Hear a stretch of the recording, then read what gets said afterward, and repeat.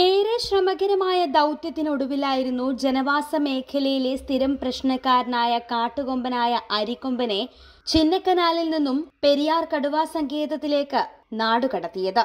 എന്നാൽ പെരിയാറിലെത്തിച്ച അരിക്കൊമ്പൻ തമിഴ്നാട് വനമേഖലയിലും തുടർന്ന് ജനവാസ മേഖലയിലുമെത്തി വീണ്ടും പ്രശ്നങ്ങൾ സൃഷ്ടിച്ചിരുന്നു. എന്നാൽ കഴിഞ്ഞ ദിവസം അരിക്കൊമ്പൻ തിരികെ കുമളി ഭാഗത്തെത്തിയതായുള്ള റിപ്പോർട്ടുകൾ പുറത്തു വന്നിരുന്നു. വീണ്ടും അരിക്കൊമ്പൻ ചിന്നക്കനാൽ ഭാഗത്തേക്ക് വരുമോ എന്നതായിരുന്നു പിന്നീടുള്ള സംശയം. എന്നാൽ ഇപ്പോഴിതാ അരിക്കൊമ്പൻ വീണ്ടും തമിഴ്നാട് വനത്തിലേക്ക് തിരികെ പോയെന്ന റിപ്പോർട്ടാണ് പുറത്തു വരുന്നത്. ലോവർ പവർ ഹൗസിന് സമീപത്തെ വനത്തിലേക്ക് അരിക്കൊമ്പൻ എത്തിയെന്നാണ് ഏറ്റവും ഒടുവിൽ ലഭിക്കുന്ന വിവരം. അരിക്കൊമ്പൻ കൊട്ടാരക്കര സിന്ധുക്കൽ ദേശീയപാത മുറിച്ചു കടന്നിരിക്കുകയാണ്. കുമളിയിൽ നിന്ന് എട്ട് കിലോമീറ്റർ അകലെയാണ് ഇപ്പോൾ അരിക്കൊമ്പനുള്ളത്. എന്നാൽ അരിക്കൊമ്പൻ ഇവിടെ നിന്നും ചിന്നക്കനാൽ ഭാഗത്തേക്ക് എത്താനുള്ള സാധ്യതയും ഏറെയാണെന്നും വനംവകുപ്പ് പറയുന്നു. ഇന്നലെ കണ്ടതിൽ നിന്നും രണ്ട് കിലോമീറ്റർ അകലെയാണ് അരിക്കൊമ്പൻ ഇന്നുള്ളത്. ഇവിടെ നിന്ന് സഞ്ചരിച്ചാൽ അരിക്കൊമ്പന് ചിന്നക്കനാലിലെത്താം. ഇവിടെ നിന്ന് കമ്പംമേട്ട് ബോഡിമേട്ട് വഴി മതിൽ കെട്ടാൻ ചോലയിലേക്ക് എത്താൻ കഴിയും. ഇവിടെ നിന്നും താഴേക്കിറങ്ങിയാൽ ചിന്നക്കനാലായി.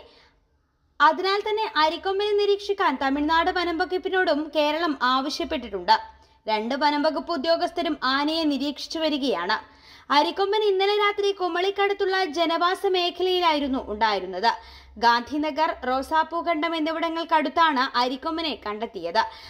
ഉന്നത ഉദ്യോഗസ്ഥരടക്കം സ്ഥലത്തെത്തി ആകാശത്തേക്ക് വെടിവെച്ച് അരിക്കൊമ്പനെ തിരിച്ച് കാട്ടിനുള്ളിലേക്ക് തുരത്തുകയും ചെയ്തിരുന്നു.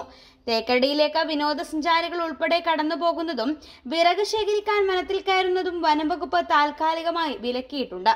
പ്രദേശത്ത് വനംവകുപ്പ് നിരീക്ഷണം കൂടുതൽ ശക്തമാക്കിയതായും അറിയിപ്പ് വന്നു. വെരിഫൈ ഫ്രീക്വൻസി ആന്റിന ഉപയോഗിച്ച് കാടിനുള്ളിൽ അരിക്കൊമ്പനെ നിരീക്ഷിക്കാനായി ഒരു സംഘത്തെ നിയോഗിച്ചിട്ടുണ്ട്. അവസാനം ലഭിച്ച സിഗ്നൽ അനുസരിച്ച് മേധക്കാനത്ത് നിന്നും തേക്കടി ഭാഗത്തെ വനത്തിലേക്കാണ് അരിക്കൊമ്പൻ സഞ്ചരിക്കുന്നത്. തേക്കടിയിലെ നിരീക്ഷണ കേന്ദ്രത്തിൽ ജി പി സിഗ്നലുകൾ പരിശോധിച്ച് വേണ്ട നിർദ്ദേശങ്ങൾ നൽകുന്നുണ്ട്. കാടിനുള്ളിൽ കിലോമീറ്ററുകളോളം സഞ്ചരിക്കുന്നതിന്റെ ഭാഗമായാകാം കുമളി ഭാഗത്തേക്ക് എത്തിയതെന്നാണ് വനം വകുപ്പ് കണക്ക് കൂട്ടുന്നത് ദിവസേന പത്ത് കിലോമീറ്ററോളം ആന സഞ്ചരിക്കുന്നുണ്ട്. അതിനാൽ വനം വകുപ്പും ജാഗ്രതയിലാണുള്ളത്. അതേസമയം ആന ജനവാസ മേഖലയ്ക്ക് സമീപം എത്തിയതോടെ നാട്ടുകാരും ആശങ്കയിലാണ്. എന്നാൽ ആശങ്കപ്പെടേണ്ട സാഹചര്യമില്ലെന്നാണ് വനം വകുപ്പ് അറിയിച്ചിരിക്കുന്നത്. കഴിഞ്ഞ മാസം ഇരുപത്തിയൊൻപതിനാണ് ചിന്നക്കനാലിനെയും പരിസര പ്രദേശങ്ങളെയും വിറപ്പിച്ച അരിക്കൊമ്പനെ പിടികൂടി പെരിയാർ ടൈഗർ റിസർവിന്റെ ഭാഗമായ മേധക്കാനത്തിന് സമീപത്തെ സീനിയർ ഓടയിൽ വനംവകുപ്പ് തുറന്നുവിട്ടത്. ഇവിടെ നിന്ന് ആന തമിഴ്നാട്ടിലെ മേഘമല കടുവാ സങ്കേതത്തോട് ചേർന്നുള്ള വനമേഖലയിൽ എത്തിയിരുന്നു. ഇവിടെയായിരുന്നു ഏറെ കാലമായി അരിക്കൊമ്പൻ ഉണ്ടായിരുന്നത്.